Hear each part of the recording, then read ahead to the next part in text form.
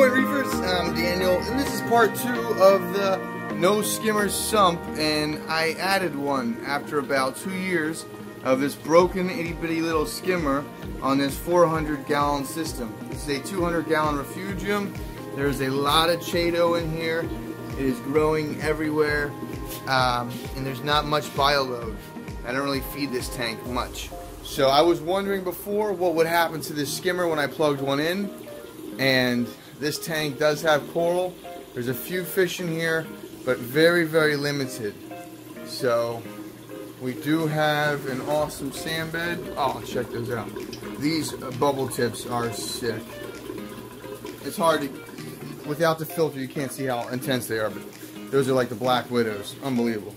So the skimmer is going crazy. I did have to turn it down, and I did open the wastegate completely. So I have the water level pretty low and it's still doing its thing and I just plugged it in. So I'm kind of curious. I will come back later on tonight and check it out. But there's the refugium. It's been growing. I haven't really had any problems with the system, but I just wanted to see what would happen with the skimmer. And like I said, well, I tested my phosphates are low, but I guess the breakdown process is just pulling out a whole lot. I did stir up the sand, or I should say the detritus, so the skimmer should pull out a lot of detritus, which is good. That's a very good thing.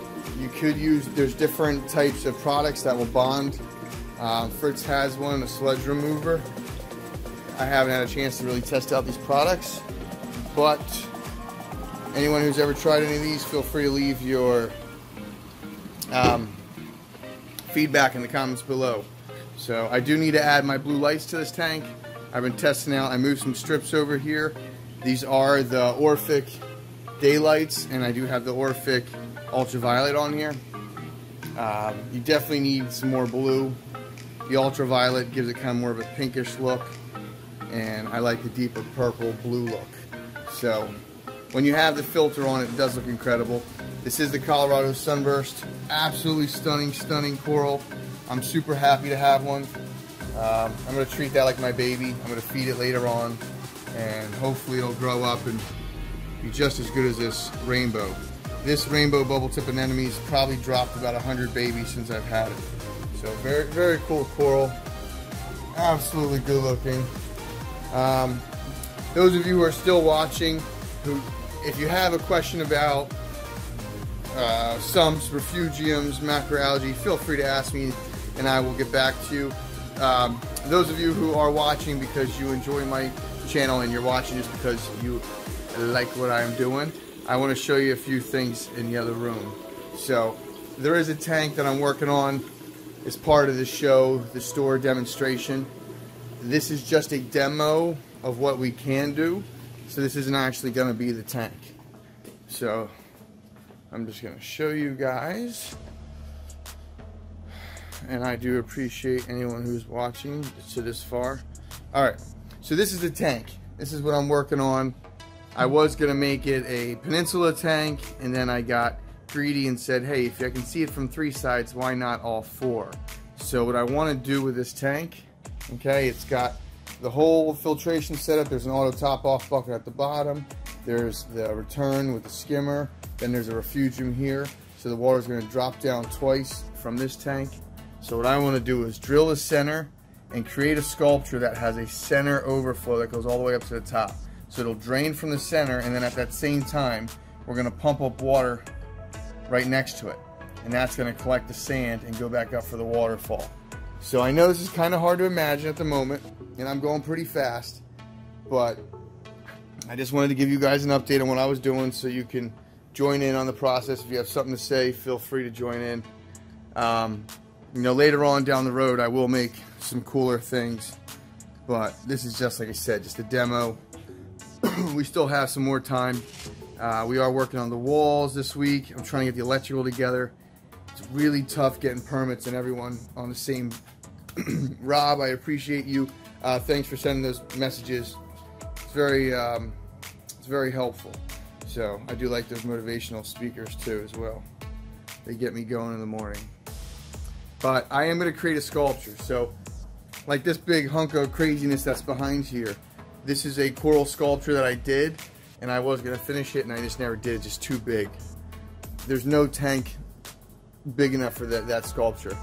I don't know why I went that crazy. You need a, a 4x4 tank just to put that thing in there. So, anyway, so I'm going to make a custom sculpture for this and it's going to have a sand overflow.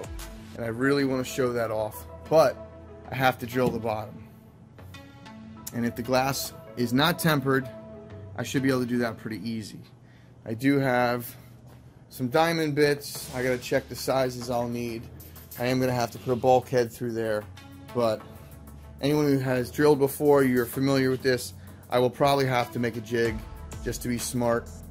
Uh, you do not want these bits walking around. So I'll pre-drill a hole and then slide this in.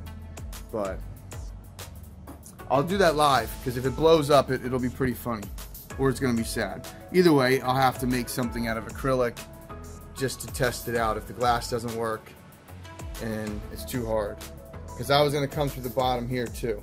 I wanted to drill this little tank and have it go right down into there. You know, have the sock. So, we'll see. It may be possible. Those of you who have had experience, feel free to chime in. Uh, this is about, I think, a 20 or 29 gallon tank. So the glass is pretty thin. We shouldn't really have any issues with it uh, support wise. But that's my update for now. Um, hope that tank comes out looking as cool as I think it will. And here's something else I do in my spare time. I was painting a picture of a Colorado sunburst anemone.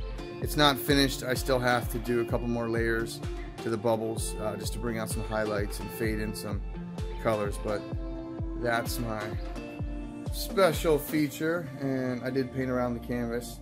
So when you're walking by, it kind of like jumps out at you. So that's that.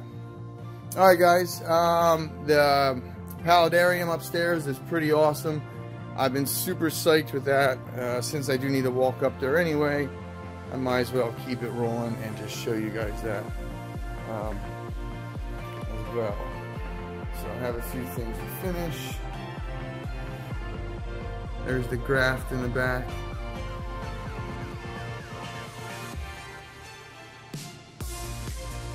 There's my clown still hosting the rock anemone. They're too freaking big for it, but they think it's cool anyway to try to sleep on it.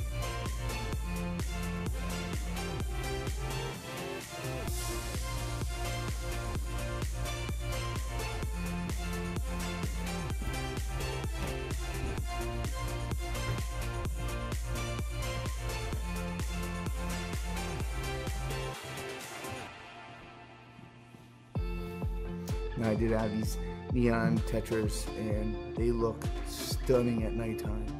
When I turn off the white lights and just have a little bit of moonlight effect on here, oh man, it's cool. And I haven't figured out how to use the misters yet, but they kick on whenever they want to, and it's super cool to see it. I do need to put a fan in the top just to keep that clean. There you guys go. Alright, I think that's all my updates for now.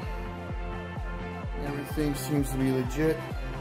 I do have a ton more to work on. There's always something. Um, so, I sent some files and I forgot to attach the pictures and stuff to it, so they sent it back to me and we've just been playing tag today. So, this is me signing off. Until next time. As always, thanks for watching and happy reefing.